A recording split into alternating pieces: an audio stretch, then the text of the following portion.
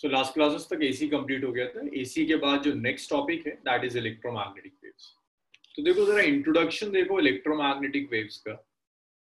Electromagnetic waves में study क्या करना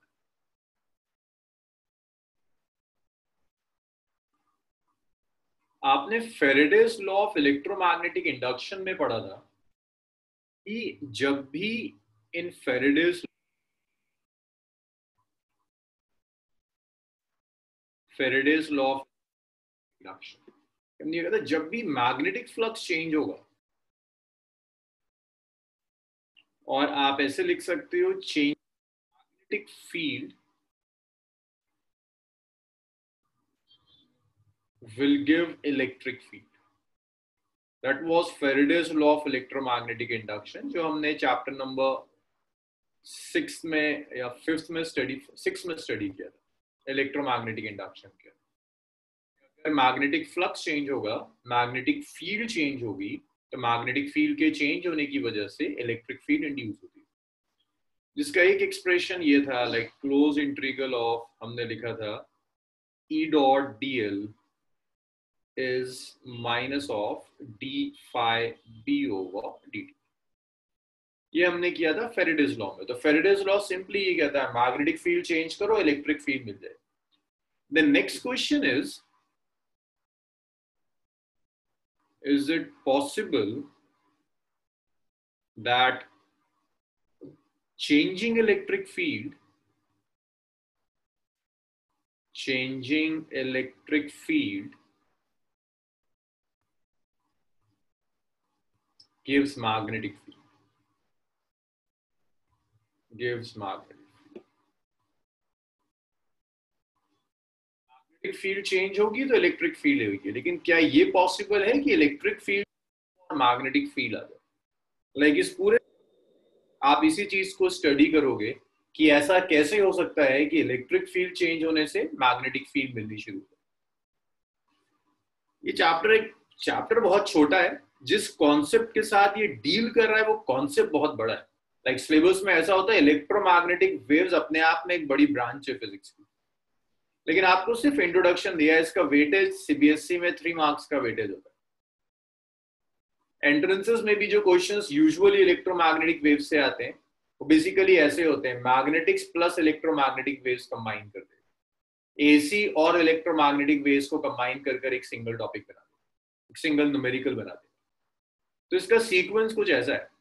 जो कुछ भी आप इसमें पढ़ोगे, वो सारा का सारा मैक्सवेल का किया हुआ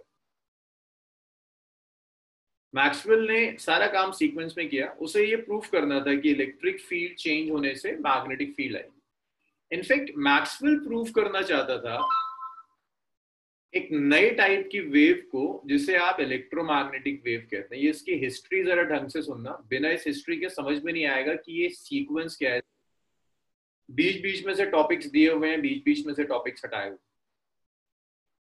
सो so, पहली जो प्रॉब्लम थी जिस प्रॉब्लम के साथ मैक्सवेल डील कर रहा था वो प्रॉब्लम ये थी कि उस टाइम पर जिस टाइम पर मैक्सवेल ने सारी चीज़ें दी है उसको एक ही वेव एग्जिस्ट करती थी जिस वेव को आप मैकेनिकल वेव कहते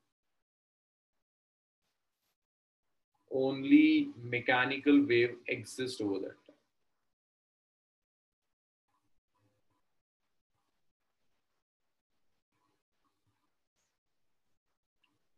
mechanical wave जो लोग भूल गए मैकेनिकल वेव क्या होता है? मैकेनिकल वो वेव वो वेव्स हैं जो मीडियम को ट्रैवल करने के लिए मीडियम चाहिए।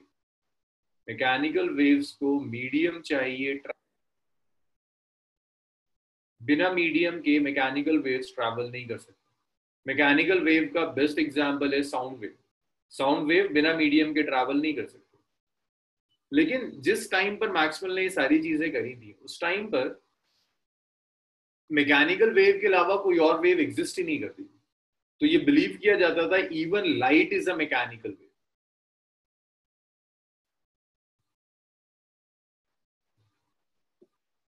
लोग बिलीव करते थे that light is a mechanical wave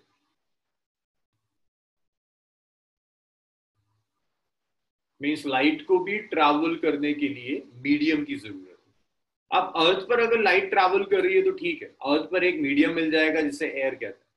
लेकिन अगर लाइट वेव सन से लेकर अर्थ तक आ रही है इट वॉज़ वेल नोन कि सन और अर्थ के बीच में एयर नहीं। तो लाइट कैसे ट्रैवल कर रही होगी? तो, तो इस स्टेटमेंट के फेवर में कि लाइट मैकेनिकल वेव है एक और कॉन्सेप्ट लाया गया क्योंकि अगर लाइट मैकेनिकल वेव है तो वैक्यूम से पास नहीं हो सकती।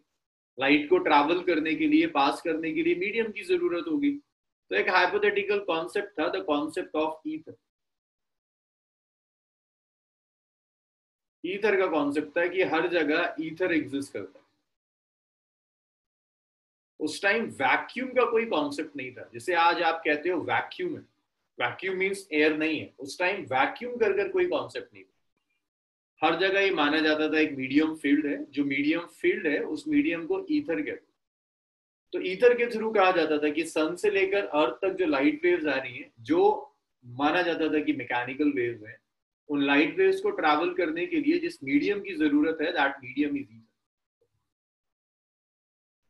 but Maxwell दो लोग थे, एक मैक्सवेल था, एक Michael and Morley Michaels and Morley इन्हें इस ईथर के कॉन्सेप्ट में यकीन नहीं था। मतलब ये दोनों बिलीव करते थे कि ईथर जैसा कुछ एग्जिस्ट नहीं करता। अब प्रॉब्लम ये थी कि इनकी जो बिलीफ थी, उसको सपोर्ट करने के लिए कोई आर्ग्यूमेंट नहीं था। कोई ऐसा आर्ग्यूमेंट नहीं था कि वो प्रूफ कर दें कि ओके अगर ईथर नहीं है तो लाइट वेव्स कैसे ट्रैवल करें। तो ये पूरा चैप्टर उसी सीक्वेंस में है। कि मैक्सवेल ने क्या किया? पहले ये प्रूफ किया कि इलेक्ट्रिक फ़ील्ड के चेंज होने से मैग्नेटिक फ़ील्ड प्रोड्यूस हो सकती है। फ़र्स्ट स्टेप था। सेकेंड स्टेप में मैक्सवेल ने ये प्रूफ किया कि अच्छा sorry. Okay okay okay sorry अच्छा मैं बोलता ही जा रहा था, आप में से कोई पूछ नहीं पा रहा था। हाँ बताइए, यहाँ तक क्या पूछना है आप लोग चैट रूम खोल दिया सॉरी मैं भूल गया था चैट रूम ऑन यहाँ तक जो पूछना है, आपको बताइए चैट रूम में। अच्छा कुछ नहीं पूछा। हाँ तो मैं क्या बता रहा था आपको? हाँ तो ईथर गैसेस स्टेट मानते ईथर जैसा कुछ था नहीं। मतलब ईथर जैसा कुछ रियल में एग्जिस्ट नहीं करता। किसी ने ईथर डिटेक्ट नहीं किया था। ईथर कहा जाता था ether is a massless chargeless odourless medium लेकिन ईथर की ज़रूरत सिर्फ़ इसलिए थी कि बिना एक्सप्लेन ये कैसे एक्सप्लेन करेंगे कि लाइट ट्रैवल कैसे करे? तो मैं दोबारा एक्सप्लेन कर रहा हूँ। चैप्टर जो कुछ भी इस चैप्टर में जो चीज़ें डिस्कस करी गई हैं, जिस एरा की हैं, वो वो एरा है जिसमें सिर्फ़ और सिर्फ़ माना जाता था कि मैकेनिकल वेव एग्जिस्ट करती है। मैकेनिकल वेव्स वो वेव्स हैं जिन्हें ट्रैवल करने के लिए मीडियम की ज़रूरत तो लोग ये बिलीव करते थे कि लाइट भी मैकेनिकल वेव है। और तो कोई ऑप्शन ही नहीं था। आज आप जानते हैं कि सिर्फ़ मैकेनिकल वेव नहीं होती इलेक्ट्रोमैग्नेटिक वेव्स भी होती और उस टाइम पर इलेक्ट्रोमैग्नेटिक वेव का कोई कॉन्सेप्ट नहीं था। सिर्फ़ एक ही वेव थी मैकेनिकल वेव जिसे ट्रैवल करने के लिए मीडियम की ज़रूरत तो बिलीव किया जाता था light is an electromagnetic wave अब अगर लाइट इलेक्ट्रोमैग्नेटिक वेव है तो अर्थ की सरफेस पर तो एक्सप्लेन कर दोगे कि लाइट कैसे प्रोपोगेट कर रही है। लेकिन ये कैसे एक्सप्लेन करोगे कि सन से लेके अर्थ की सरफेस तक लाइट कैसे आई? अर्थ की सरफेस पे लाइट प्रोपोगेट कर रही है, आपको समझ में लेकिन सन से लेकर कर अर्थ की सरफेस तक लाइट कैसे आ रही है, वो आप एक्सप्लेन नहीं कर पाएँगे। उसको एक्सप्लेन करने के लिए आपको किसी मीडियम की ज़रूरत पड़ेगी। एक हाइपोथेटिकल मीडियम दे दिया गया था विच वॉज़ ईथर ईथर कोई रियल मीडियम नहीं है। कुछ भी नहीं था, ना मास था, ना चार्ज था, ना डेंसिटी थी, ना ऑर्डर था, कुछ नहीं था। बस था कि यहाँ एक मीडियम एग्जिस्ट करता है, जिसकी ज़रूरत इसलिए है। क्योंकि अगर इस ईथर को हटा दें तो लाइट जो कि मैकेनिकल वेव है ट्रैवल कैसे करे? भाई पॉइंट वन और पॉइंट टू में जिन्हें परेशानी थी, सना टू में थी, फैजान को, आयशा को पॉइंट वन में थी। दो चीज़ें हुई क्लियर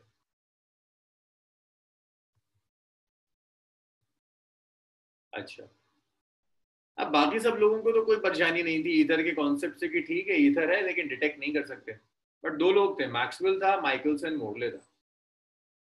इन, ये दोनों ईथर के कॉन्सेप्ट में यकीन नहीं था। लाइक ये कहते थे ईथर जैसा कुछ एग्जिस्ट नहीं करता। उसके दो रीजंस थे। मैक्सवेल की कैलकुलेशंस में कभी ईथर नहीं आया। लाइक उसने कैलकुलेट करके देखा, कभी उसने नहीं देखा कि ईथर जैसे किसी मीडियम की ज़रूरत है।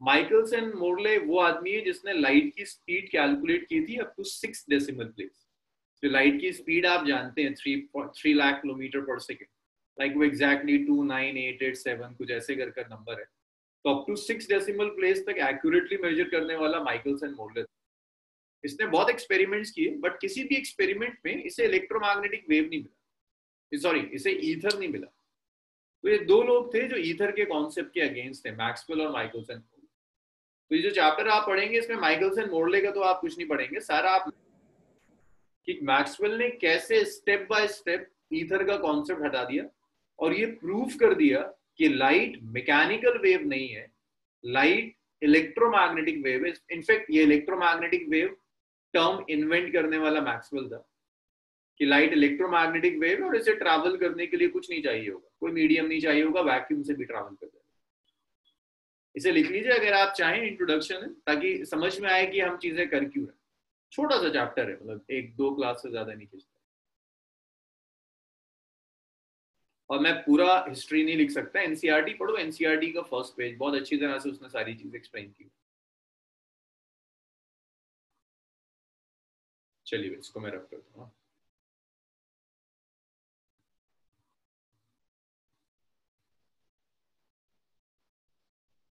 अब देखो मैक्सवेल ने कितना इंटेलिजेंटली काम किया। To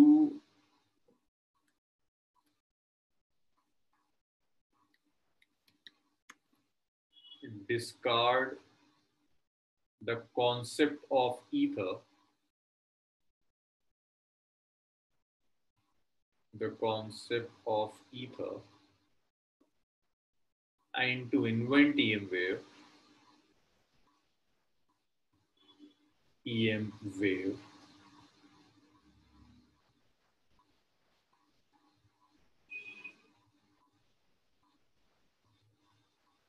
So इसको ईथर को डिस्कार्ड करने के लिए और ईएम वेव्स को इन्वेंट करने के लिए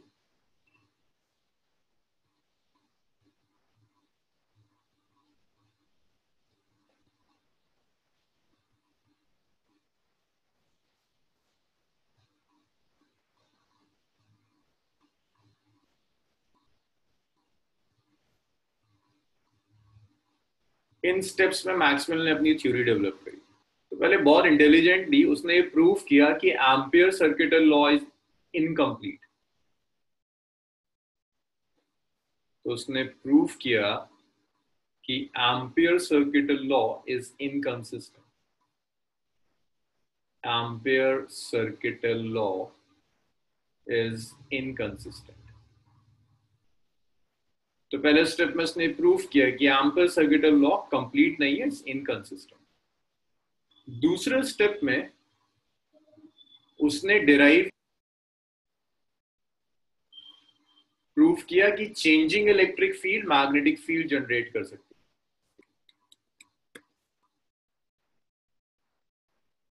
changing electric field can generate magnetic इसके बाद उसने ईएम e वेव्स का कॉन्सेप्ट दे दिया और ईएम e वेव्स के बाद उसने ये प्रूफ कर दिया कि लाइट इज़ ईएम और इस सारे काम में कोई एक्सपेरिमेंट इन्वॉल्व नहीं था मैथमेटिकल कैलकुलेशंस थी। और उसके बाद जितनी भी उसने ईएम e वेव्स की प्रॉपर्टीज़ ली, वो सारी की सारी प्रॉपर्टीज़ लाइट की प्रॉपर्टीज़ से मैच करें। तो लाइट की सारी प्रॉपर्टीज़ एग्जैक्टली वही थी जो इसने ईएम वेव्स की प्रॉपर्टीज़ प्रेडिक्ट की। तो फाइनली ये प्रूव हो गया light is an electromagnetic wave EM waves को ट्रैवल करने के लिए मीडियम नहीं चाहिए और ईथर का कॉन्सेप्ट डिस्कार्ड हो गया। इसे लिख लीजिए, बिना इस इंट्रोडक्शन के लिए चैप्टर समझना बड़ा मुश्किल हो जाएगा। ये इलेक्ट्रोस्टैट या करंट जैसी चीज़ें नहीं है जो सीक्वेंस में आ रही है बीच बीच में से चीज़ें उठकर आएँगी।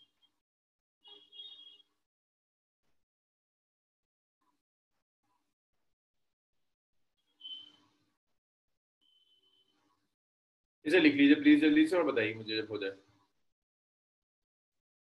कोई नहीं, हार्दिक कोई ज़्यादा मिस नहीं हुआ आपका, बस इंट्रोडक्शन ही चल रहा था। अब स्टार्ट करेंगे।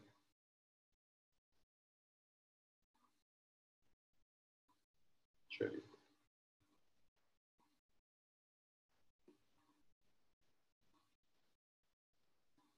चलो भाई, मैं इसको रब कर रहा हूँ। तो ये चैप्टर में पहला काम आता है, उसने शुरू ही ऐसे ही किया कि एम्पियर सर्किटल लॉ को गलत प्रूफ कर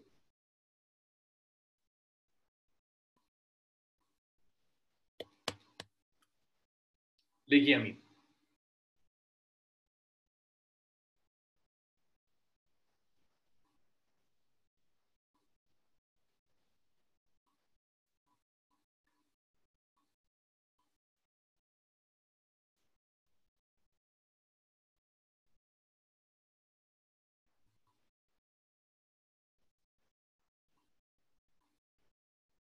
रब कर दू इसको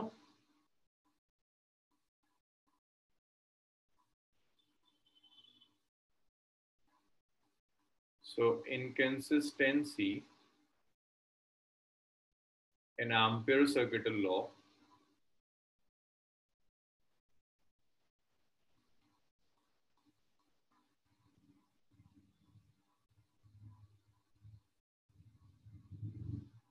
and concept of displacement.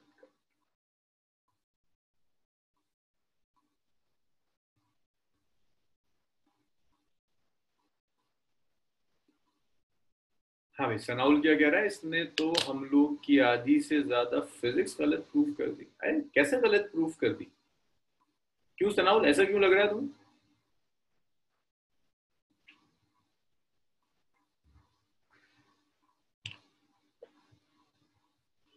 उस जमाने की फिजिक्स में उसने करेक्शंस कर दी। आज जो आप पढ़ रहे हैं, उसमें तो कुछ नहीं है। हाँ तो इनकंसिस्टेंट का मतलब उस वक्त तक गड़बड़ थी। आज जो आप पढ़ रहे हैं तो करेक्टेड वर्जन है ना। मैक्सवेल एटीन सेंचुरी की बात कर रहे हैं। आप एटीन सेंचुरी की थोड़ा ना पढ़ रहे हैं। और थोड़े बहुत करेक्शंस तो हमेशा से होते रहे। साइंस की ब्यूटी यही है ना इट्स एवर इवॉल्विंग अगर साइंस इवॉल्विंग नहीं होती तो फिर वो ब्यूटी नहीं थी साइंस में, चीज़ें ठीक नहीं हो पाती। वैसे ही होता है, शायद आज जो आप पढ़ रहे हो सौ साल के बाद उसमें कुछ करेक्शन आ जाए। That's the beauty of science ever evolving change होती रहती है।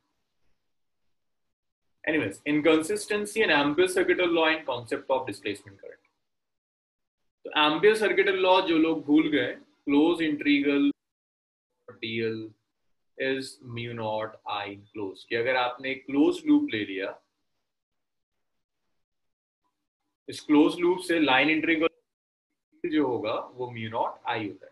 भाई, अगर कोई भूल गया, मैं बस याद दिला रहा हूँ कि एम्पियर सर्किटल लॉ अप्लाई कैसे करते थे। आपने एक क्लोज लूप ली, इस क्लोज लूप से मान लीजिए कुछ करंट जा रहा है, आए तो एम्पियर सर्किटल लॉ कहता है कि closed integral of D dot D L is mu naught times the total current I this current I is the enclose by the loop इस लूप के अंदर जो भी करंट आएगा that is current I so that's Ampere circuital the closed integral of b dot dl is mu naught times the total current I enclosed by the loop. अब देखिए ampere circuital law में inconsistency कैसे आई?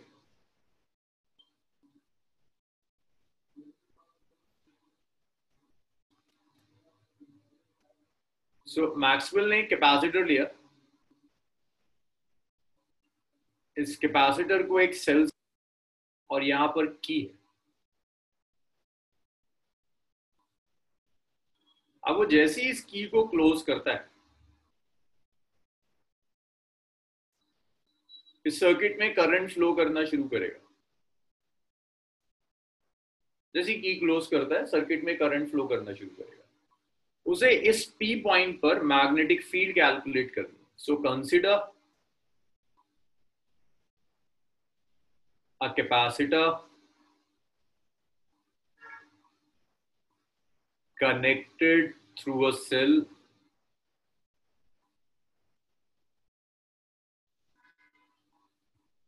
connected through a cell through a key K. एक की के through cell से connect किया होगा at T equal to key is close तो टी इक्वल टू ज़ीरो पर की क्लोज कर दी। जैसे ही आपने की क्लोज करी, इसके अंदर कुछ करंट फ्लो करेगा दैट करंट इज़ आई पूरे सर्किट के अंदर कुछ आई करंट फ्लो करना शुरू कर देता कोई एक पॉइंट पी है, जिस पॉइंट पर आपको मैग्नेटिक फ़ील्ड कैलकुलेट करना तो एम्पियर सर्किटल लॉ कहता है कि इस पॉइंट से आप एक लूप ले लो। आपने इसे कह दिया लूप नंबर वन रेडियस कुछ ले लीजिए, ये रेडियस आर है लूप का। So to calculate magnetic field मैं बहुत ज़्यादा स्टेटमेंट्स लिख रहा हूँ क्योंकि ये बहुत थ्योरेटिकल है, इसमें बहुत ज़्यादा कैलकुलेशंस नहीं है। To calculate magnetic field at T using ampere circuital law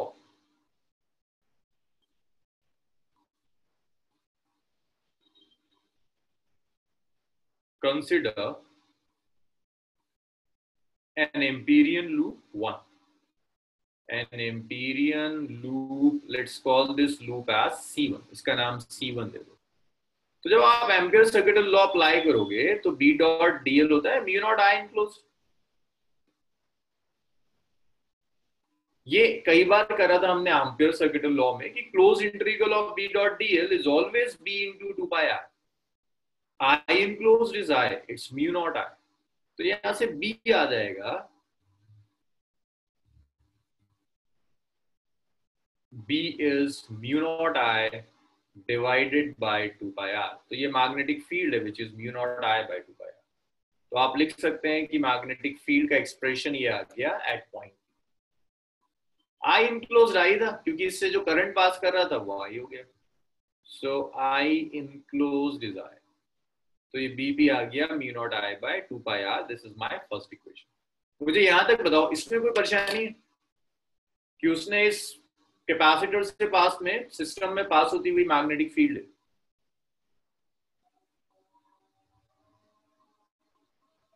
इतना लिख लीजिए, फिर देखते हैं कैसे कमियाँ ढूंढी उसने सर्किट लॉ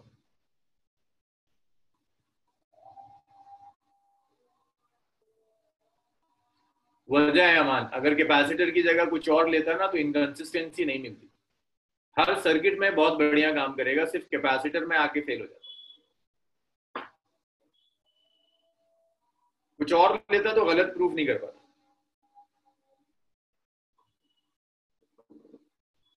मतलब जब ये चैप्टर खत्म होगा ना, एक, दो ढाई घंटे में तो आपको खुद देखने लगेगा किस कदर जीनियस आदमी था, कहाँ से शुरू करा और कहाँ पहुँचा के लेके। अगर ये रजिस्टर लेता, इंडक्टर लेता तो ये प्रूफ ही नहीं कर पाता हमारा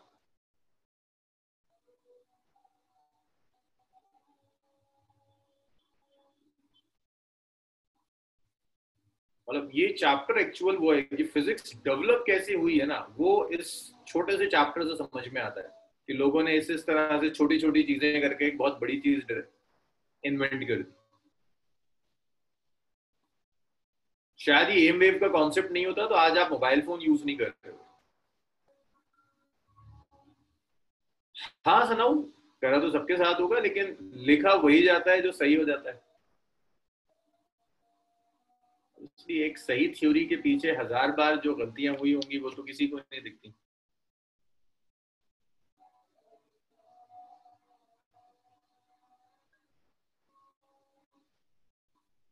भाई, सब लिख लें तो बताइए, मुझे इंतज़ार कर रहा हूँ मैं आप सब लोगों का।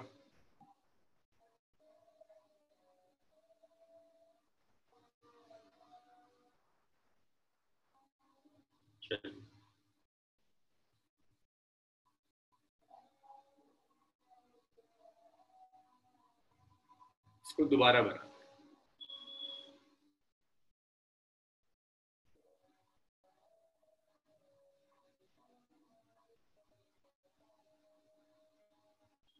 देखो एम्पियर ने जब अपना लॉ दिया था ना, उसने कहा था Amperian loop should be a close loop उसने नहीं कहा था सर्कुलर होगी डिस्क होगी, क्या होगा? उसने कहा था it should be a circular loop close loop that's it तो एम्पियर ने उसी स्टेटमेंट का फ़ायदा उठाया। उसने कहा एक आया ना क्लोज लूप होनी चाहिए तो आप कुछ भी ले लो। क्लोज ये भी क्लोज है, ये भी क्लोज है। ऐसे करके भी क्लोज लूप ली जा सकती है। भाई, जैसे अगर मैं बॉटल ले लू मुझे बताओ, ये बॉटल है, मैं यहाँ से भी कट कर दूँ बॉटल को और यहाँ से भी कट कर इतना से भी कट किया और यहाँ से भी कट किया। तो ये बॉटल भी तो अपने आप में क्लोज लूप बन जाएगी। भाई एग्री करते हो नहीं करते? ये बॉटल का मैं यहाँ से पोर्शन कट कर दूँ और पोर्शन पीछे से भी कट कर दूँ? तो क्या ये बॉटल लूप बन जाएगी? क्लोज लूप अगर एम्पियर सर्किट लॉ सही है तो हर तरह के लूप्स के लिए वैलिड होनी चाहिए। तो उसने कहा, अगर ये सही है तो एक और लूप लेते हैं। उसने जैसे मैं बॉटल काटने को कह रहा हूँ ना, बिल्कुल वैसे ही उसने एक लूप ले ली। ये लूप ले ली। एक्सटेंडेड लूप ले ली। एक पोर्शन कैपेसिटर की प्लेट्स के बीच में से जा रहा है यहाँ आ गया। लाइक ये बॉटल बॉटल काट कर मैंने ऐसे करके लगा दी कि ये वाला पोर्शन कैपेसिटर की प्लेट्स के बीच में दूसरा वाला पोर्शन वायर तक जा रहा है। इसे कह देते हैं लूप टू फिर से अप्लाई करते हैं। Applying Ampere circuit law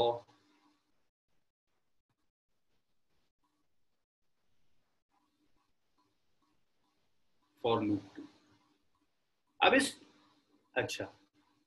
Arshad कहाँ से रिपीट करना है? इस लूप से? अर्षद, जो आप रिपीट करने के लिए कह रहे हैं उस लूप से रिपीट करने के लिए कह रहे हैं। अच्छा। देखिए एम्पियर सर्किट लॉ में अर्षद उसने कहा था क्लोज लूप होनी चाहिए। एम्पियर ने यही कहा था। अब क्लोज लूप सर्कल भी हो सकता है, ये भी क्लोज लूप है। क्लोज लूप स्क्वायर भी हो सकता है, इस शेप का भी क्लोज लूप हो सकता है। और क्लोज लूप एक्सटेंडेड भी हो सकता है, कि जैसे बॉटल का एग्ज़ाम्पल दे रहा था कि बॉटल को यहाँ से काट दिया, यहाँ से काट दिया। क्लोज लूप बन गई ना बॉटल भी, एक एक्सटेंडेड क्लोज लूप मान ली। तो उसने एक बॉटल की तरह एक्सटेंडेड क्लोज लूप मान लिया, जिसका एक पार्ट इसके बीच में से कैपेसिटर की प्लेट्स के बीच में से पास हो रहा है और दूसरा जो पार्ट है वो वायर के ऊपर से जा रहा है। अर्शद, बताइए, ये लूप समझ में आई है?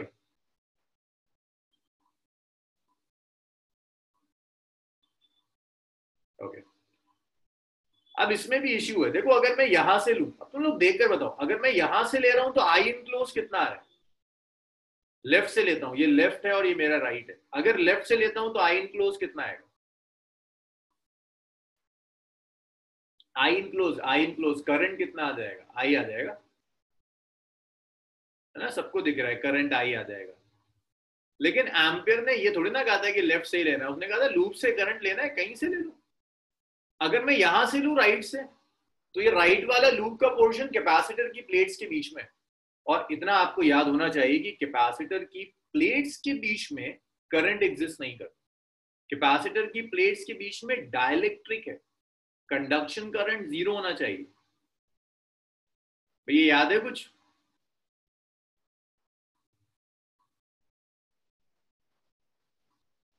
तो अगर मैं राइट साइड से लू तो आई इनक्लोज कितना आ रहा है?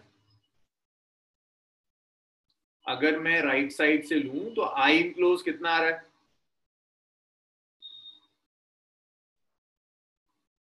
ज़ीरो आ रहा है। बहुत बढ़िया। तो अगर मैं राइट साइड से लू तो मैं ऐसे लिखूँगा बी डॉट डी एल था ना mu naught I enclose I enclose तो ज़ीरो आ गया। I enclose magnetic field zero आ गई। जब मैंने राइट साइड से लिया तो मैग्नेटिक फ़ील्ड ज़ीरो आ गई। भाई I enclose zero that means B dot D L is zero I enclose zero मतलब D L is zero B dot D L is zero means B zero magnetic field zero हो गई। अगर magnetic field zero हो गई P point पर calculate कर रहे हैं सब कुछ। तो गड़बड़ नहीं दिख रही। एक ही पॉइंट है, एक ही सर्किट है, एक लूप कह रहा है magnetic field mu naught I by two pi R होगी। एक लूप कह रहा है मैग्नेटिक फ़ील्ड ज़ीरो हो जाएगी। और कहीं भी कैलकुलेशन में कोई गलती नहीं करी। दैट मीन्स कहीं ना कहीं एम्पियर सर्किट में कुछ गड़बड़ थी। These two different values of magnetic field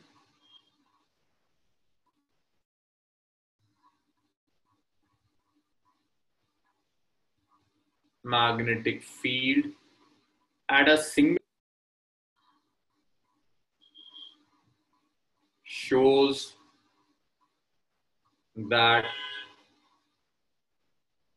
ampere circuital law is inconsistent.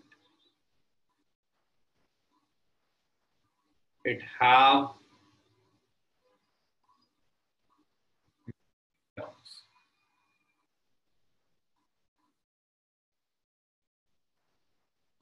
law आपका इनकंसिस्टेंट है, इसमें कुछ मिसिंग टर्म्स होंगे it have some missing terms अब वो मिसिंग टर्म्स देखेंगे कि मैक्सवेल ने कैसे ढूंढी। पहले ये बताओ इनकंसिस्टेंसी समझ में आई? इनकंसिस्टेंसी कैसे मिली?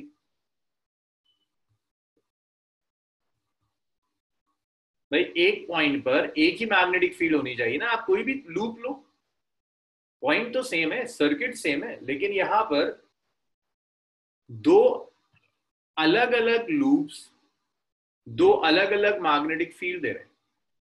फैजान को नहीं समझ में आया। फैजान, मुझे बताओगे क्या एग्जैक्टली exactly नहीं समझ में आ रहा। अगर तुम्हें एम्पियर सर्किटल लॉ ही नहीं आता, तब तो मेरे लिए बड़ा मुश्किल काम है।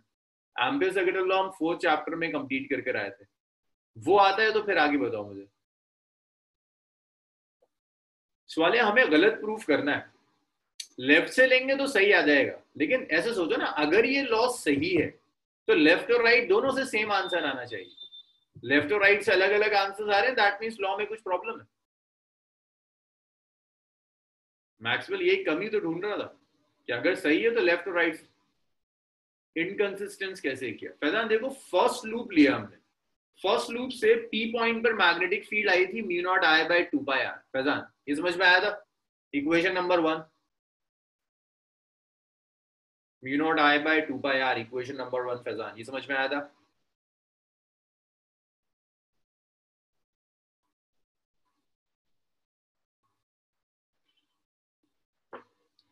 अब दूसरी चीज़, ये स्टेटमेंट समझ में आता है कि अगर पी पॉइंट पर मैं मैग्नेटिक फ़ील्ड किसी भी लूप से लू तो आंसर सेम आना चाहिए। प्रधान पॉइंट अगर सेम है तो मैं कहीं से भी लूप लू आंसर सेम आना चाहिए। अब मैंने क्या किया, एक एक्सटेंडेड लूप ले ली, जो कैपेसिटर की प्लेट्स के बीच में से आ रही है। कैपेसिटर की प्लेट्स के बीच में डायलेक्ट्रिक होता है, कोई करंट नहीं फ्लो कर सकता। आई इंक्लूज ज़ीरो अगर आई इंक्लूज ज़ीरो तो मैग्नेटिक फ़ील्ड ज़ीरो आ गई। यहाँ तक आया इक्वेशन नंबर टू तक?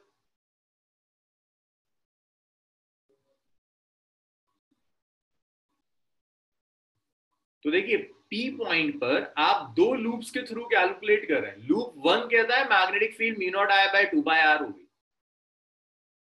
लूप टू कहता है मैग्नेटिक फ़ील्ड ज़ीरो एक ही पॉइंट पर दो अलग अलग लूप अलग अलग मैग्नेटिक फील्ड्स दे रही है। गड़बड़ नहीं नज़र आ रही? भाई पॉइंट सेम है तो कैसे भी कैलकुलेट करो? आंसर तो सेम आना चाहिए। अभी फैजान, अब हुआ कुछ?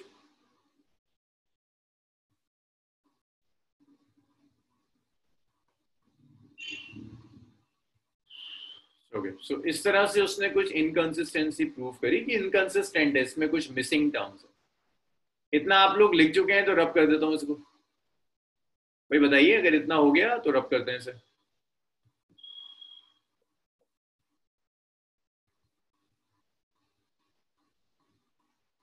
चलिए सब लिख चुके हैं इसे सो so, जो क्वेश्चन आते हैं ना एग्ज़ाम में लाइक थ्योरेटिकल जो क्वेश्चन बनता है यहाँ से बहुत अच्छा थ्योरिटिकल क्वेश्चन वो ये होता है कि प्रूफ करो that Ampere circuital law is inconsistent Ampere circuital law inconsistent है, ये प्रूफ करवाता है, पहली चीज़।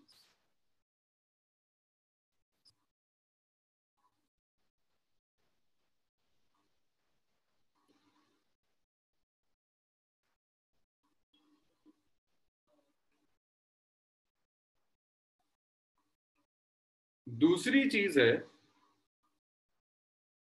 अब इस इनकंसिस्टेंसी को, नहीं जो है रजिस्टर से गलत प्रूफ नहीं होगा।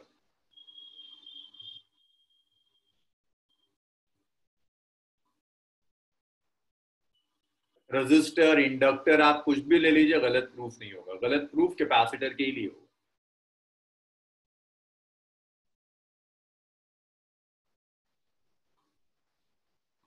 नहीं अमान, अभी आपको दिख जाएगा कैपेसिटर में एग्जैक्टली exactly क्या गड़बड़ हो रही थी, मैक्सवेल क्या एम्पियर ने क्या मिस किया। पहले लो, फिर इस डिस्प्लेसमेंट करंट से उस इनकंसिस्टेंसी को दूर करें।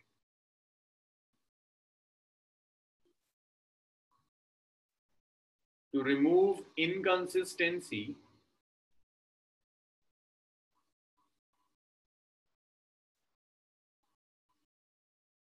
in Ampere circuital law,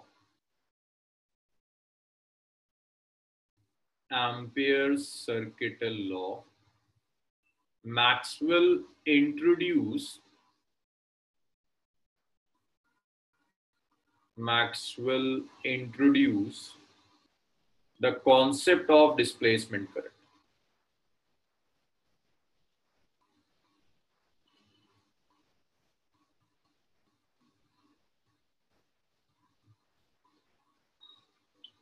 So so, इस इनकंसिस्टेंसी को दूर करने के लिए मैक्सवेल ने डिस्प्लेसमेंट करंट का कॉन्सेप्ट यूज़ किया। तो देखिए डिस्प्लेसमेंट करंट क्या चीज़ है?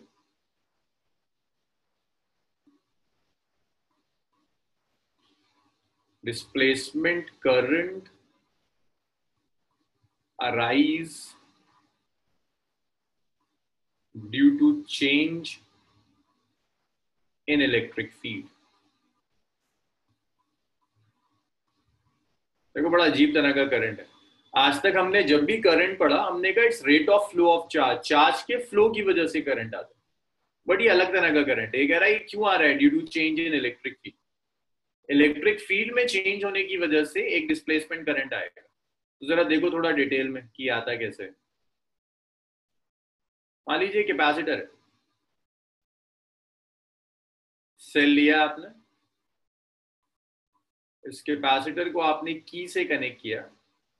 जैसे ही आप की क्लोज करेंगे कैपेसिटर की प्लेट्स पर चार्ज बिल्डअप होना शुरू होगा। ग्रेजुअली चार्ज इंक्रीज होता है। चार्ज है तो कैपेसिटर की प्लेट्स के बीच में इलेक्ट्रिक फ़ील्ड भी होगी। जैसे जैसे चार्ज बढ़ेगा on the plates of capacitor electric field भी between the capacitor plates of capacitor increase होगी। So when switch is close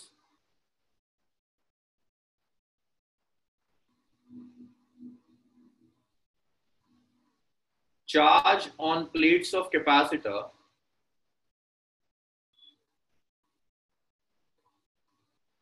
increases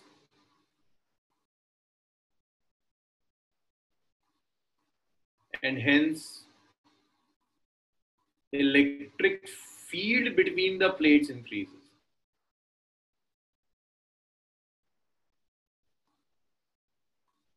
Electric field between plates increases.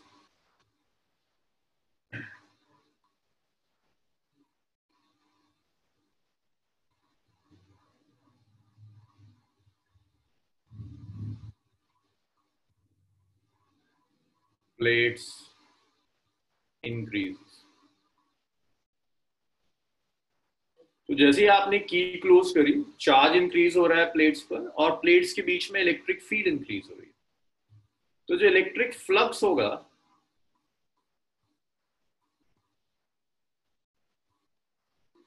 अगर मैं इलेक्ट्रिक फ़ील्ड पहले कैलकुलेट कर लू इलेक्ट्रिक फ़ील्ड बिटवीन प्लेट्स अब अगर आप ये भूल गए कैपेसिटर में हमने किया था तो ये फ़ीड होती है सिग्मा बाय एप्सिलॉन जिसे आप लिख देते हैं Q by A epsilon where A is area of plate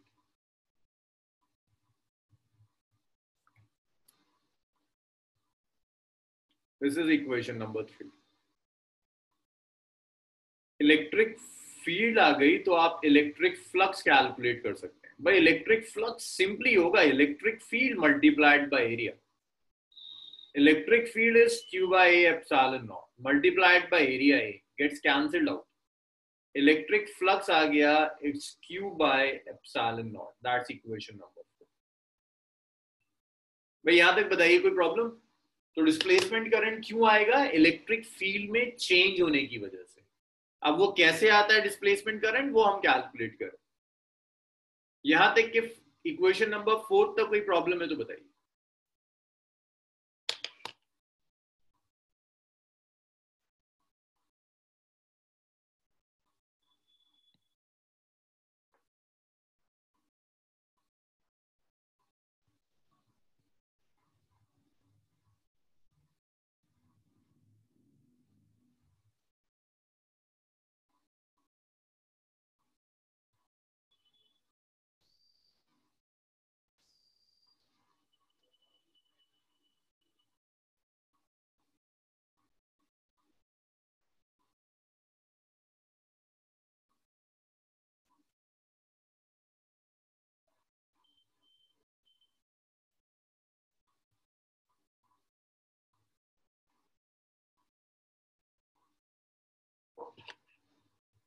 आप equation number three parallel plate capacitor से यूज़ किया मैंने। पैरेलल प्लेट कैपेसिटर में दोनों प्लेट्स के बीच में इलेक्ट्रिक फ़ील्ड होती थी sigma by epsilon naught sigma को कहते थे सरफेस चार्ज डेंसिटी जो चार्ज अपॉन एरिया थी। तो यार ये ड्राइव ऐसे करते थे ना, एक पॉजिटिव प्लेट है, एक नेगेटिव प्लेट है। पॉजिटिव की वजह से फ़ील्ड ई प्लस नेगेटिव की वजह से E minus E plus is sigma by 2 epsilon naught e minus is sigma by 2 epsilon naught. Add कर दो। ये मैंने एज इट इज़ कैपेसिटर से उठाया है बात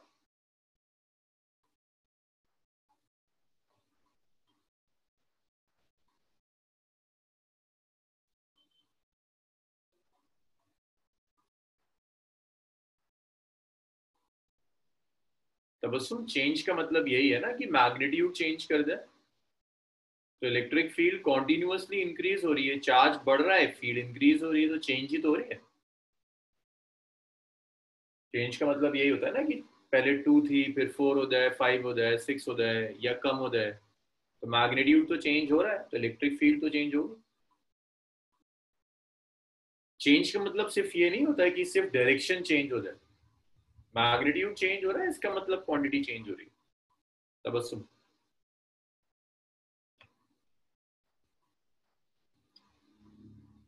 अच्छा अब देखिए फ्लक्स आपको दिख रहा होगा क्लियरली कि यहाँ पर फ्लक्स चार्ज पर डिपेंड कर रहा है। चार्ज चेंज हो रहा है, इसका मतलब फ्लक्स भी चेंज हो रहा है। फ्लक्स चार्ज पर डिपेंड कर रहा है। चार्ज चेंज हो रहा है मीन फ्लक्स भी चेंज होता चला जाएगा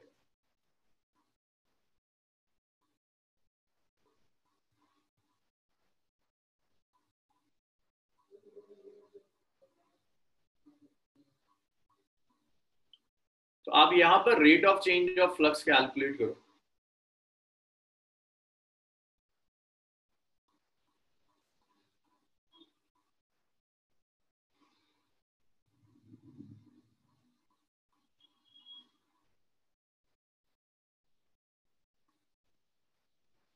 तो जब आप rate of change of flux calculate करेंगे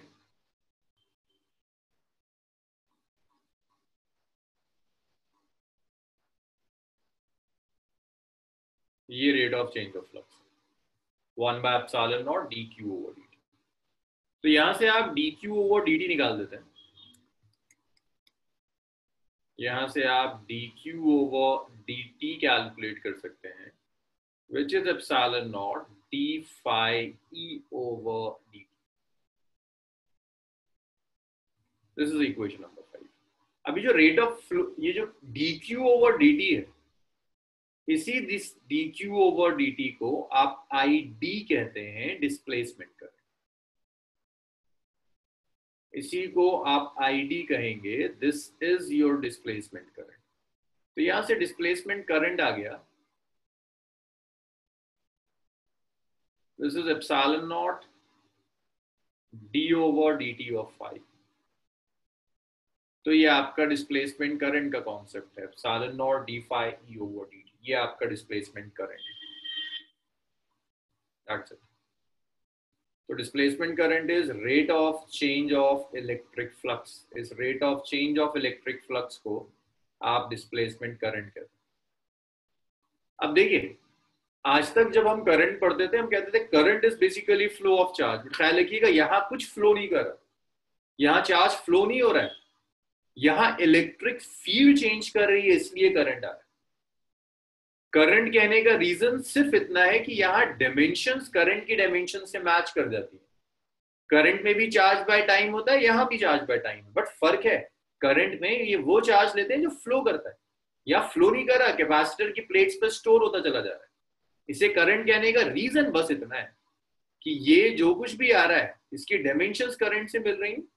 बट इसका जो कॉज है the cause is change in electric field electric field में चेंज होने की वजह से इलेक्ट्रिक फ्लक्स में चेंज होने की वजह से डिस्प्लेसमेंट करंट चलिए इतना लिखिए, फिर देखते हैं डिस्प्लेसमेंट करंट का कॉन्सेप्ट यूज़ कर कर मैक्सवेल ने एम्पियर सर्किटल लॉ को कैसे करेक्ट किया?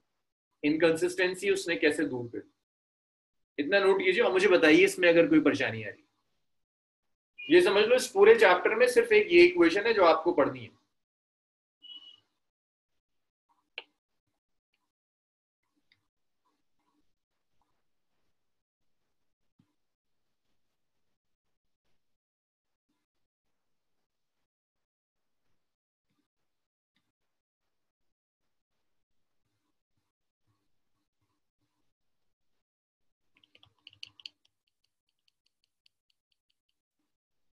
अच्छा एक बात बताओ, अभी तक इससे पहले जब हमने करंट इलेक्ट्रिसिटी में करंट पढ़ा था तो वो करंट क्या डायलेक्ट्रिक में भी फ्लो कर जाता था या सिर्फ़ और सिर्फ़ कंडक्टर्स के लिए था? जो करंट इलेक्ट्रिसिटी में पढ़ा था हमने करंट हाँ वो हमने पढ़ा था सिर्फ़ और सिर्फ़ कंडक्टर्स के लिए, सिर्फ़ कंडक्टर्स में फ्लो करता था। अब थोड़ा सा सोचिए कि ये जो करंट आ रहा है, जो इलेक्ट्रिक फ़ील्ड में चेंज होने की वजह से आ रहा है क्या ये सिर्फ़ कंडक्टर्स में फ्लो करेगा या डायलेक्ट्रिक में भी एग्जिस्ट कर सकता है? लॉजिक होना चाहिए आपके आंसर देने के पीछे। हमें एक एक से लॉजिक नहीं पूछूँगा, लेकिन एटलीस्ट दिमाग में होना चाहिए कि अपने आप को आप जस्टिफाई कर पाए अपना आंसर दोबारा रिपीट कर रहा हूँ। मैं कह रहा हूँ, ये जो करंट है, ये भी डिस्प्लेसमेंट करंट जो इलेक्ट्रिक फ़ील्ड में चेंज होने की वजह से आ रहा है। क्या ये भी सिर्फ़ कंडक्टर्स में होगा या डायलेक्ट्रिक में भी एग्जिस्ट कर सकता है?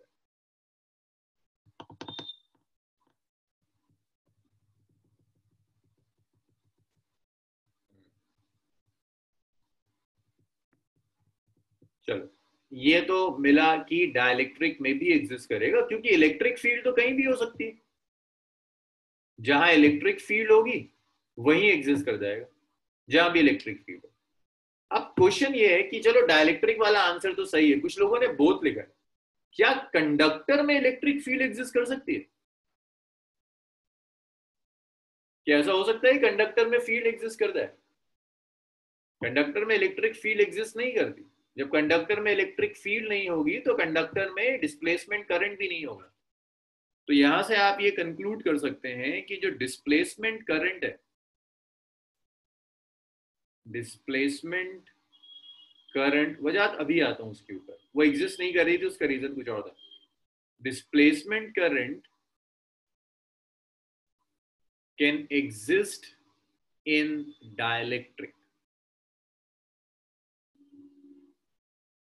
it does not exist in conduct. So so, conductor में डिस्प्लेसमेंट करंट एग्जिस्ट नहीं करेगा डायलेक्ट्रिक में डिस्प्लेसमेंट करंट एग्जिस्ट कर तो देखो वजाहत को बहुत सही याद आ रहा है कि जब हमने ड्रिफ्ट वेलोसिटी की डेरिवेशन ली थी तो विद इन द कंडक्टर भी हमने इलेक्ट्रिक फ़ील्ड ली याद है जब हमने ड्रिफ्ट वेलोसिटी की डेरिवेशन करी थी तो विद इन द कंडक्टर भी फ़ील्ड ली थी। लेकिन वजह वहाँ सिर्फ़ कंडक्टर नहीं था। कंडक्टर के साथ एक सेल भी लगाया हुआ था। अगर वो सेल हटा देता तो फ़ील्ड ज़ीरो हो जाती। यहाँ पे एक्सटर्नल सप्लाई नहीं है। अगर कंडक्टर में मैं एक्सटर्नल सप्लाई दूँ तो फिर हो सकता है। और इसी करंट को ना, यही करंट जब कंडक्टर में आएगा तो उसे कंडक्शन करंट कह दिया करें वो कंडक्शन करंट है जो कंडक्टर में फ्लो कर आयशा का क्वेश्चन है कंडक्टर ना मैग्नेटिक फ़ील्ड में कंडक्टर के अंदर भी फील होती है। कंडक्टर के अंदर भी फील होती है। हाँ आयशा, वो कंडक्टर के अंदर वहाँ पर जो मैग्नेटिक फ़ील्ड थी मैग्नेटिक फ़ील्ड बाहर अप्लाई करी हुई थी, उस मैग्नेटिक फ़ील्ड में कंडक्टर रखा था जो टॉर्क एग्जिस्ट करे। ये अंदर नहीं थी, बाहर थी, आयशा। ये फ़ील्ड अंदर नहीं थी, ये बाहर थी।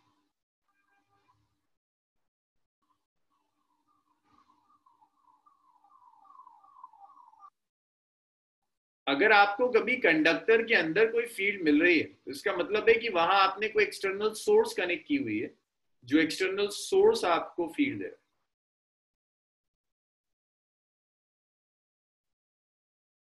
सो so, यहाँ से एक चीज़ याद रखिएगा न्यूमेरिकल्स इन कंडक्टर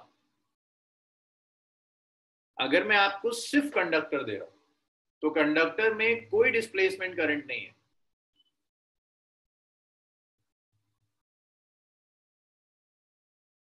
कोई डिस्प्लेसमेंट करेंगे।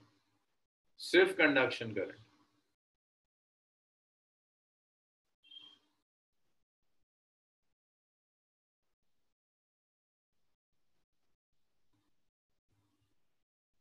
अगर मैं डायलेक्ट्रिक ले लू,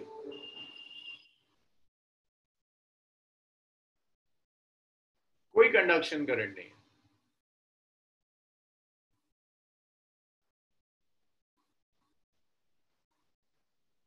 सिर्फ़ डिस्प्लेसमेंट करंट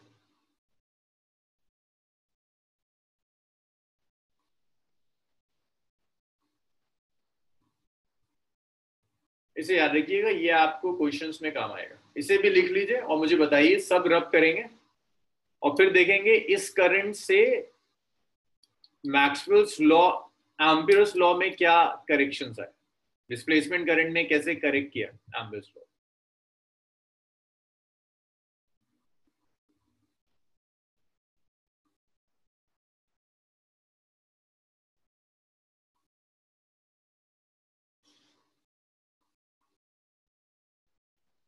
देखते हुए चलना है। छोटी छोटी सी चीज़ें ना अल्टीमेटली तुम्हें एक नई तरह नई तरह की वेव्स की तरफ़ ले जाएगी, जैसे इलेक्ट्रोमैग्नेटिक वेव कहते हैं।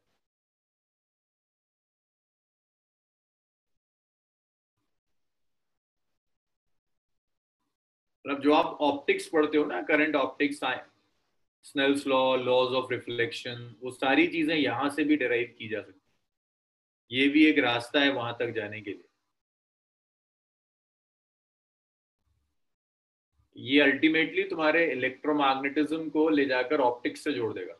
Snell's law laws of reflection वो सब आप अपनी इलेक्ट्रिक और मैग्नेटिक फ़ील्ड की इक्वेशन से भी निकाल सकते हैं। अच्छा खैर, अब डिस्प्लेसमेंट करंट के बाद अच्छा अर्शद लिखिए लिखिए अर्षद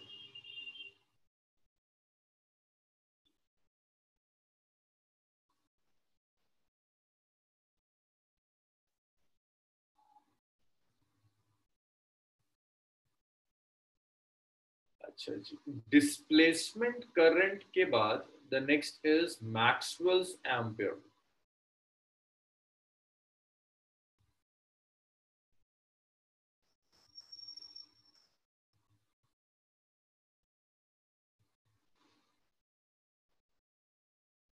Maxwell's Ampere law तो एम्पियर सर्किटल लॉ में मैक्सवेल ने कुछ चेंजेस करे जो गड़बड़ थी एम्पियर सर्किटल लॉ में, वो मैक्सवेल ने ठीक करी और लॉ का नाम हो गया मैक्सवेल्स एम्पियर्स लॉ तो मैक्सवेल्स एम्पियर्स लॉ ये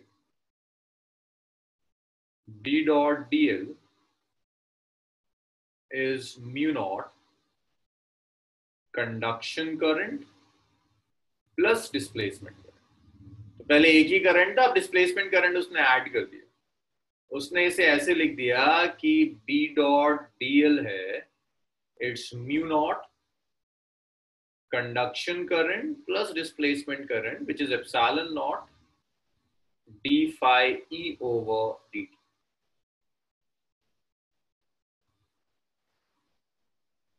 बस यहीं से लाइट वेव की शुरुआत हो गई। तो देखो एम्पियर सर्किट लॉ हमने तो यूज़ किया है टूल है मैग्नेटिक फ़ील्ड कैलकुलेट करने। बट फिजिक्स में इसकी जो इंपॉर्टेंस इसलिए कि ये बताता है आपको source of magnetic field Ampere circuit ये एम्पियर सर्किट लॉ आपको बताता है कि मैग्नेटिक फ़ील्ड की एक ही सोर्स है दैट इज़ करंट जब आप लिखते थे ना, सिर्फ़ म्यू नॉट आए तो ये बताता है सिर्फ़ करंट है जो मैग्नेटिक फ़ील्ड जनरेट कर सकता है. That was major significance of Ampere circuit law कि तुम्हें सीधा सीधा बता रहा है सोर्स क्या है. बट जैसे ही तुमने इसे ऐड कर दिया, जैसे ही मैक्सवेल ने इसे ऐड किया तो इसका मतलब है मैग्नेटिक फ़ील्ड की दो सोर्सेज हैं. हमने आज तक सिर्फ़ करंट पढ़ी थी chapter number four chapter number five में एक ही सोर्स पढ़ी थी विच इज़ करंट अब करंट के साथ साथ इलेक्ट्रिक फ़ील्ड भी मैग्नेटिक फ़ील्ड जनरेट करे। So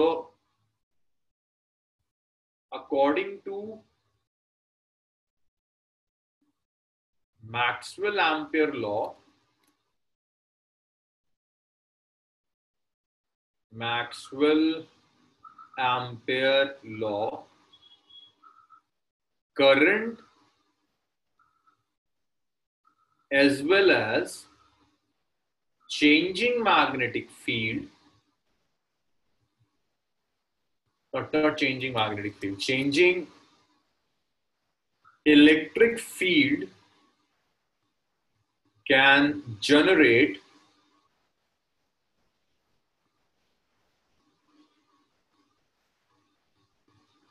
magnetic कि चेंजिंग इलेक्ट्रिक फ़ील्ड के साथ साथ करंट के साथ साथ अगर इलेक्ट्रिक फ़ील्ड चेंज होगी तो वो भी मैग्नेटिक फ़ील्ड जनरेट कर सकती है। तो दो सोर्सेज है मैग्नेटिक फ़ील्ड की current as well as changing electric field अब अगर मैं ये सर्किट ले लू, बस मैं अभी डाउट्स पर आ रहा हूँ। मैं इसको करा दू, फिर डाउट्स पे आ रहा हूँ। हम जिस ओरिजिनल प्रॉब्लम से चल रहे थे मतलब जब हमने इनकंसिस्टेंसी प्रूफ किया था तो जरा सा अगर आप सोचो, जब हम इनकंसिस्टेंसी प्रूफ कर रहे थे तो वहाँ कैपेसिटर की प्लेट्स के बीच में करंट कितना लिया था? सर बताओ मुझे। जब हम इनकंसिस्टेंसी प्रूफ कर रहे थे तो कैपेसिटर की प्लेट्स के बीच में करंट कितना लिया था? ज़ीरो अब ये सोचो, कौन सा करंट ज़ीरो था? कंडक्शन करंट ज़ीरो था या डिस्प्लेसमेंट करंट ज़ीरो था? कैपेसिटर की प्लेट्स के बीच में करंट तो ज़ीरो था, कौन सा करंट ज़ीरो था? कंडक्शन करंट ज़ीरो था। अभी बताओ क्या डिस्प्लेसमेंट करंट होगा? Between plates of capacitor displacement current exist करेगा। और जब डिस्प्लेसमेंट करंट एग्जिस्ट करेगा तो मैग्नेटिक फ़ील्ड कुछ ना कुछ तो मिलेगी। नॉन ज़ीरो तो नहीं आएगी। अब समझ में आया इनकंसिस्टेंसी कैसे दूर? हुई कि जो आप सेकंड इक्वेशन ले रहे थे ना सेकंड इक्वेशन में हम यही तो लिख रहे थे B dot d l is mu naught I enclosed को ज़ीरो लिख दिया था। अब वो आई इनक्लोज ज़ीरो नहीं है। वो आई इनक्लोज की जगह कितना आ जाएगा? डिस्प्लेसमेंट करंट अब मैग्नेटिक फ़ील्ड ज़ीरो नहीं आएगी इनकंसिस्टेंसी दूर हो गई। और एक चीज़ और याद रखिएगा, अगर ये कंडक्शन करंट है तो डिस्प्लेसमेंट करंट सारा का सारा कंडक्शन करंट के इक्वल होगा। यहाँ तक कंडक्शन करंट था। जैसे ही कैपेसिटर में एंटर हुआ डिस्प्लेसमेंट करंट में कन्वर्ट हो गया।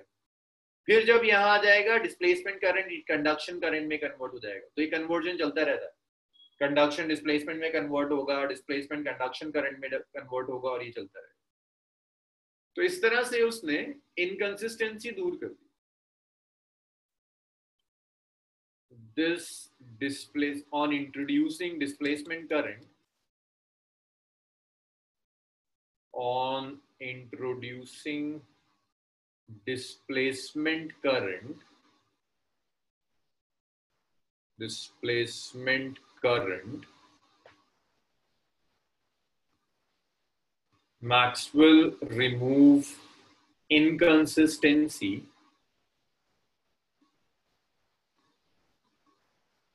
in ampere circuit law in Ampere circuit law चलो भाई, अब डाउट्स लेते हैं। क्या क्या डाउट्स हैं? सबसे पहला डाउट था आयशा का डाउट था बहुत ऊपर चला गया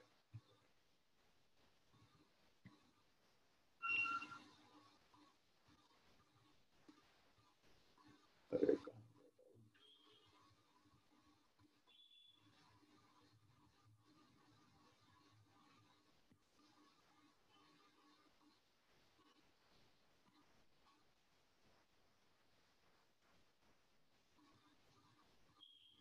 अरे आयशा, तुम्हारा डाउट खो गया बच्चे। दोबारा भेजोगी जरा एक बार? बाकी लोग लिखो, जिनके डाउट से मैं डाउट कंसिडर कर रहा हूँ। अच्छा मिल गया। एक्सटर्नल पोटेंशियल में तो डायलेक्ट्रिक में भी अप्लाई करना होगा ना for current to flow in it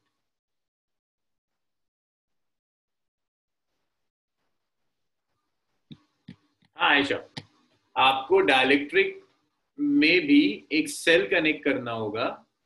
ताकि वो सेल आपकी प्लेट्स को चार्ज देता रहे और उस चार्ज की वजह से इलेक्ट्रिक फ़ील्ड इंक्रीज होती रहे और डिस्प्लेसमेंट करंट आता है या तो सेल से कनेक्ट करना होगा या एसी सप्लाई से कनेक्ट करना होगा ताकि चार्ज कॉन्टिन्यूसली चेंज होता रहे, उसकी वजह से इलेक्ट्रिक फ़ील्ड चेंज होती रहे और सारा का सारा और चेंजिंग इलेक्ट्रिक फ़ील्ड की वजह से डिस्प्लेसमेंट करंट आता है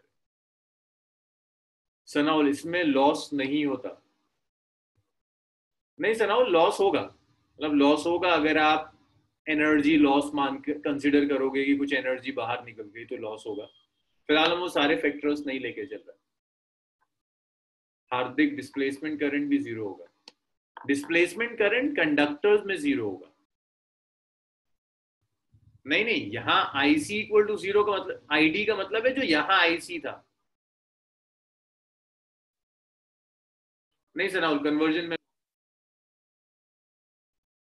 भाई, इसका मतलब ऐसा है कि मान लीजिए, यहाँ कंडक्शन करंट था दो एम्पियर और डिस्प्लेसमेंट करंट कंडक्टर में ज़ीरो था। जैसे ही आप डायलेक्ट्रिक में आए, सारा का सारा कंडक्शन करंट डिस्प्लेसमेंट करंट में कन्वर्ट हो गया।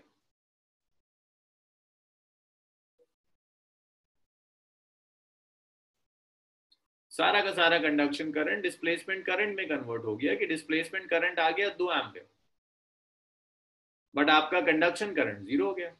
फिर जब वायर में आओगे तो फिर से डिस्प्लेसमेंट करंट ज़ीरो हो जाएगा कंडक्शन करंट टू एम्पियर हो जाएगा। मेरे ख्याल से।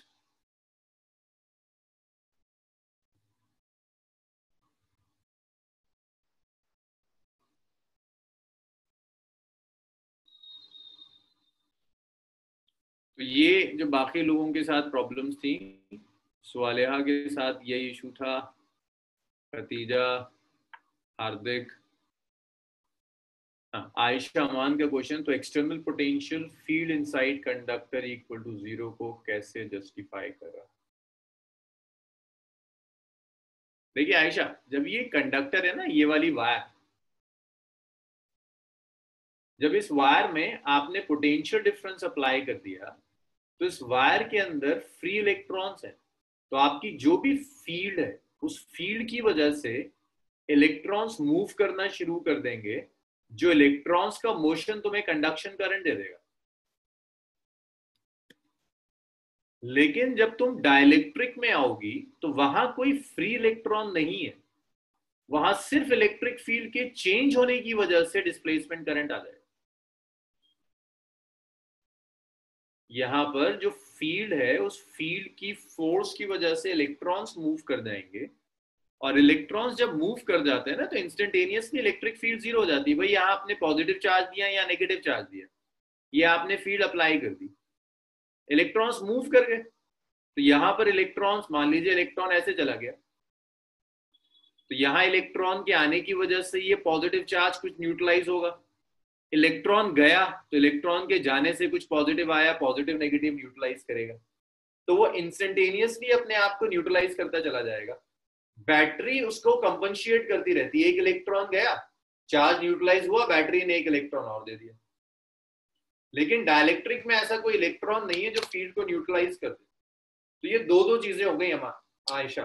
पहली चीज़ ये कि जो भी आप कह रही है फ़ील्ड ज़ीरो जो होगी, के लिए ज़ीरो होगी। दूसरी बात ये कि कंडक्टर में इलेक्ट्रिक फ़ील्ड फोर्स अप्लाई करेगी, जिसकी वजह कर जाएँगे और कंडक्शन करंट आ जाएगा।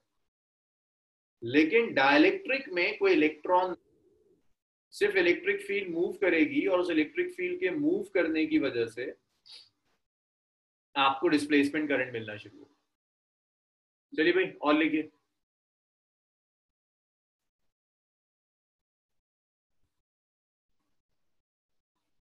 कुछ क्वेश्चंस देखते हैं, फिर देखेंगे यहाँ से इलेक्ट्रिक फ़ील्ड का कॉन्सेप्ट कैसे आया। This is the major portion of electromagnetic waves EM waves का ये मेजर पोर्शन न्यूमेरिकल्स देखिए कुछ।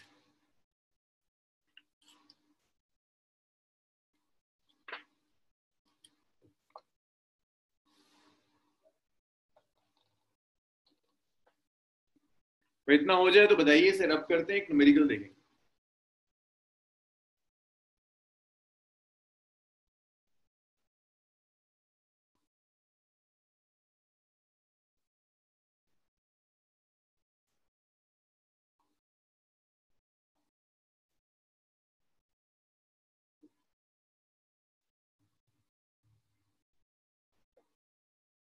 चलिए, सब लिख चुके हैं। मैं रब कर रहा हूँ उसको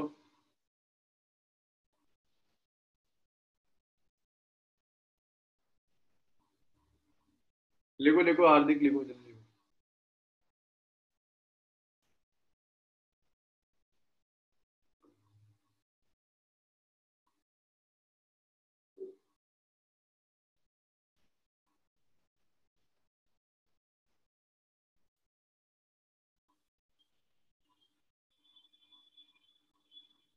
So देखिए parallel plate capacitor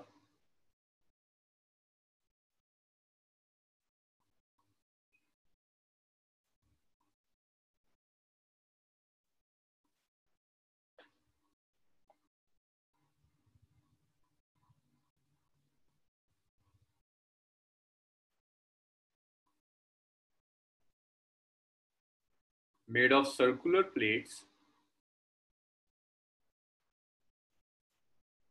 each of radius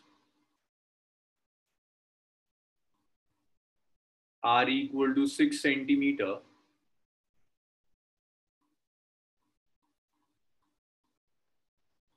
as a capacitance C equal to 100 picofarad.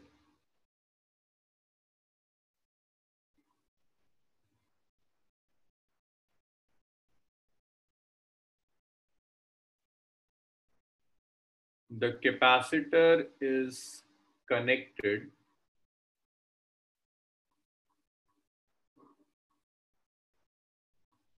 to a 230 volt AC supply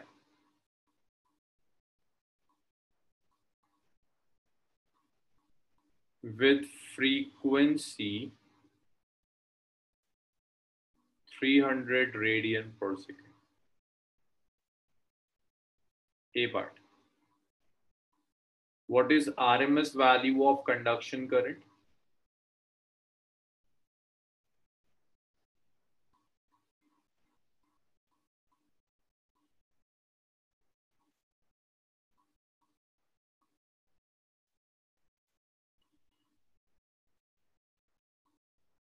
value of displacement current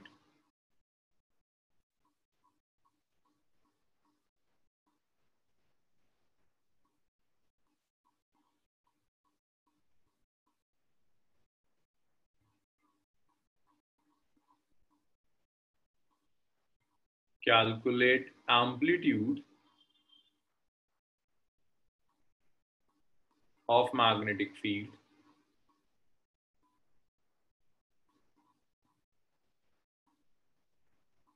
At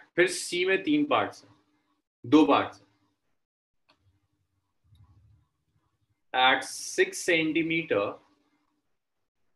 from the axis between plates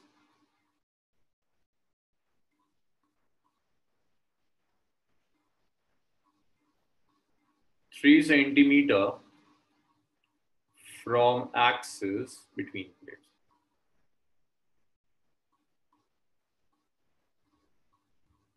चलिए सॉल्व करिए।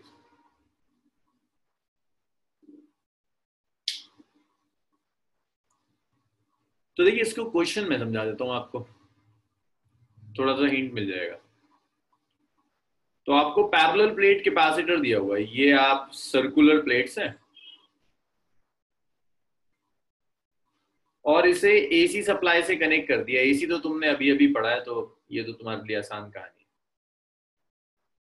जब कुछ नहीं गिवन होता AC में तो इसका मतलब है आरएमएस वैल्यू दी है आपको 230 वोल्ट एंगुलर फ्रीक्वेंसी भी उसने आपको दिया है 300 रेडियन पर second RMS value of conduction current पूछ रहा है।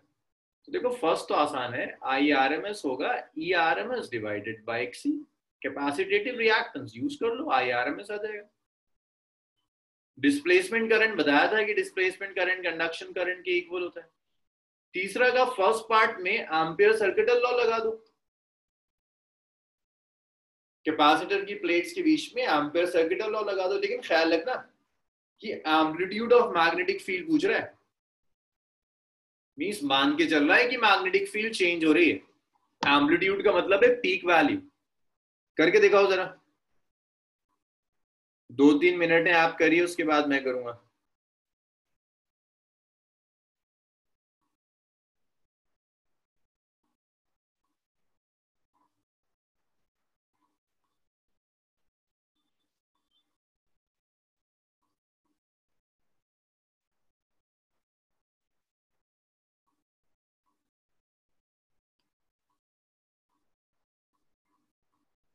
फ़र्स्ट टू पार्ट्स तो ट्रिवियल है, वो तो एटलीस्ट कैलकुलेट करो, चलो थर्ड साथ में कर लेंगे।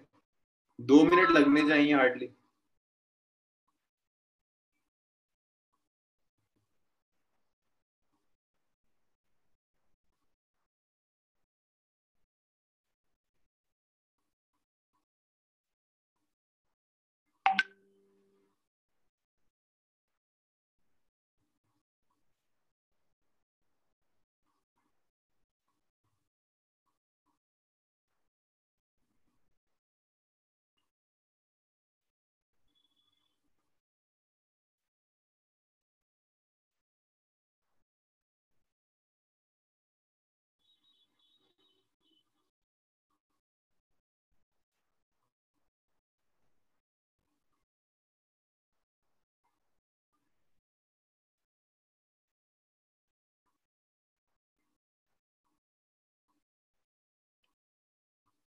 भाई आंसर्स लिखना शुरू करो। फ़र्स्ट टू पार्ट्स के क्या क्या आ रहे हैं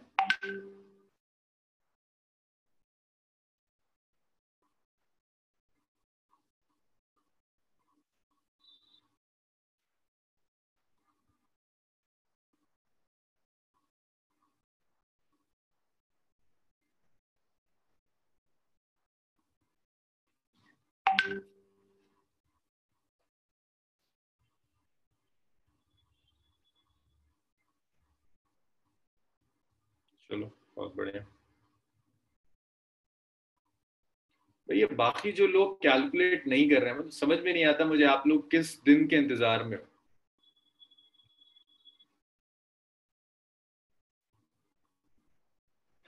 आप क्लास में कैलकुलेट नहीं करते, आपसे एग्ज़ाम में कैलकुलेट नहीं होगा। किसे धोखा दे रहे हो बैठ के?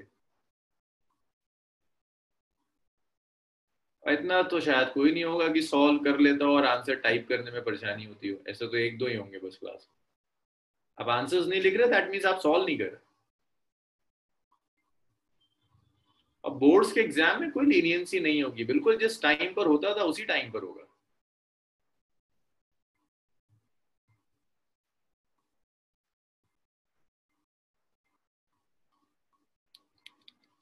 चलो एक बार चेक कर लेते हैं आपकी कैलकुलेशंस सो ए पार्ट में आर एम एस वैल्यू चाहिए एक्सी की ज़रूरत पड़ेगी। XC is one by omega C सीधी सीधी कैलकुलेशन है ओमेगा है थ्री हंड्रेड सी कितना है? हंड्रेड पिकोफेरेट तो hundred into ten raise to the power minus twelve इसे सॉल्व करा आपने।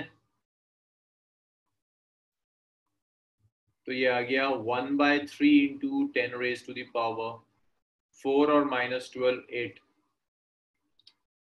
ये एक्स आ गया ten raise power eight by three I R M S चाहिए।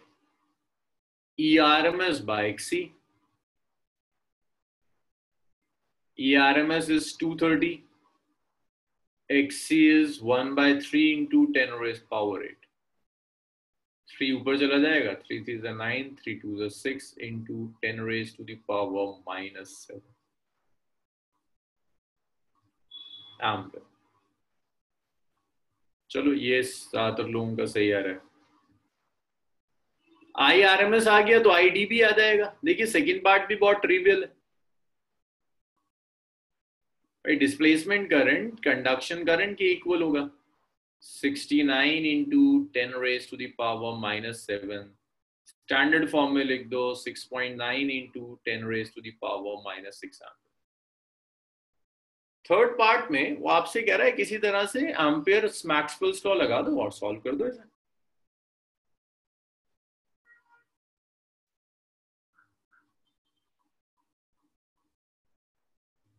तो आपको दिया है ये ये प्लेट्स हैं कैपेसिटर की एक प्लेट ये है एक प्लेट ये। सो so, इन प्लेट्स की आपको लेंथ दी हुई है। रेडियस दिया है प्लेट्स का सिक्स सेंटीमीटर सिक्स सेंटीमीटर ये एक्सेस है। यहाँ किसी पॉइंट पर फ़ील्ड चाहिए एक्सेस से सिक्स सेंटीमीटर पर यहाँ फ़ील्ड चाहिए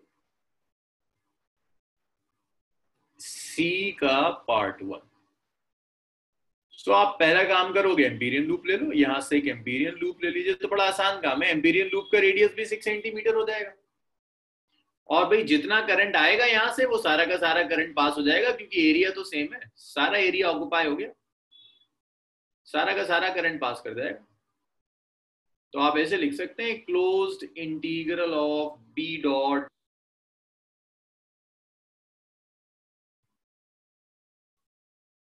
mu naught I अब आई इनक्लोज में भी आई सी प्लस आई डी दोनों आ जाएँगे। अब जब तुम कैपेसिटर की प्लेट्स के बीच में ही आ रहे हो तो कैपेसिटर की प्लेट्स के बीच में कोई कंडक्शन करंट तो एग्जिस्ट करेगा नहीं। एक ही करंट एग्जिस्ट करेगा जो आपका डिस्प्लेसमेंट करंट है।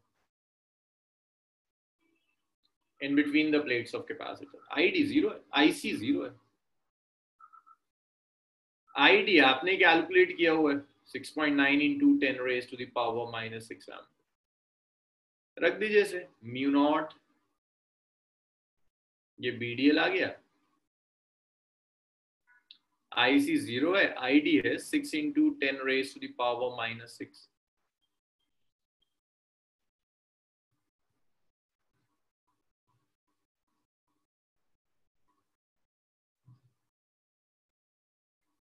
तो बी को आप बाहर ले जा सकते हैं डीएल का इंटीग्रल आप टू पाई आर लिख सकते हैं म्यू नॉट को आप लिख सकते हैं four pi into ten raise power minus seven six into ten raise power minus six two pi से फोर पाई कैंसिल हो गया टू आ गया.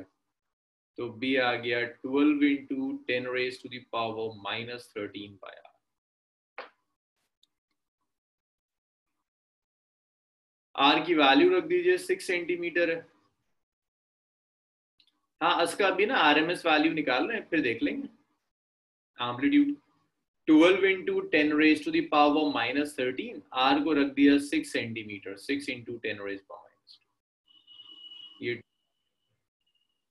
ये बी आ गया अच्छा six point nine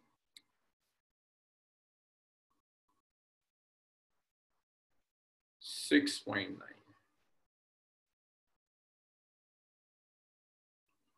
तो जब आप कैंसिल करोगे 1.7 1.8 के आसपास कुछ आ जाएगा। यार, मैं कुछ रफ नंबर ले रहा हूँ ओके 1.8 के आसपास। 1.8 point eight into ten raise to the power minus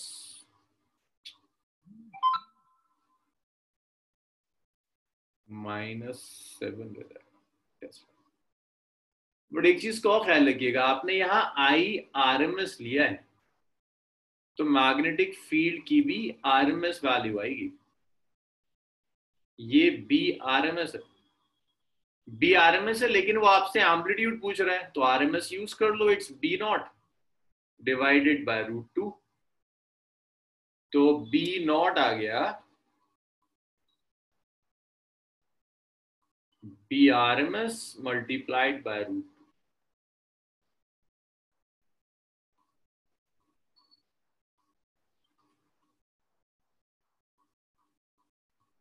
अरे यार, एक मिनट एक मिनट।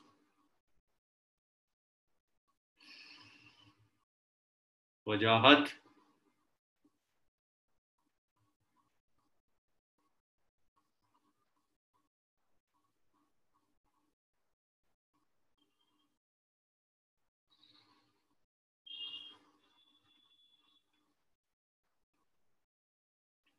अरे बस वो सिक्स नहीं है सिक्स पॉइंट नाइन है ना। 6.9 into 10 raised to the power minus 6. So B pi r ho gaya mu naught is 4 pi into 10 raised to the power minus 7 6.9 into 10 raised power minus 6 2 pi से 4 pi cancel हो गया 2 आ गया ये almost fourteen के आसपास आएगा। Fourteen into ten raise to the power minus thirty तो B आ गया। Fourteen into ten raise to the power minus thirteen divided by R R is six into ten raise to the power minus two तो ये आ गया seven by three into ten raise to the power minus eleven tesla but ये जो आया, ये are M S value है।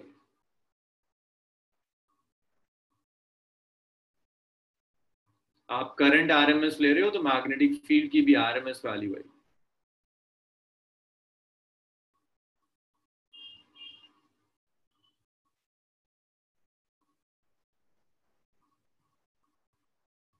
so B R M S है B naught by root two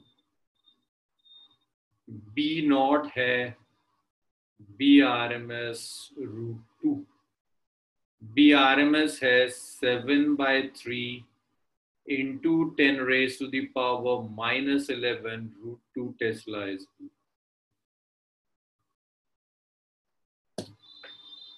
चलो जी, लिख लो इतना। खत्म हुआ बस एक वेडनेसडे और क्लास चाहिए या वाइंड अप हो जाएगा?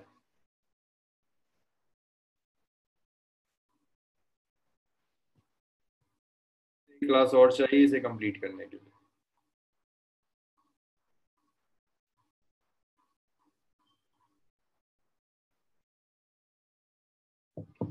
चलो भाई, आज इसको यहीं छोड़ दें। विटनेस